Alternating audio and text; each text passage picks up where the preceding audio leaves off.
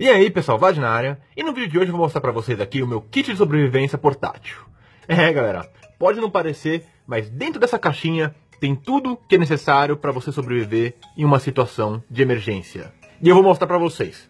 Ah, mas antes disso galera, vocês podem ver que tá escrito aqui SOS. E por acaso vocês sabem o que significa SOS? Não? Então tá bom. Now the world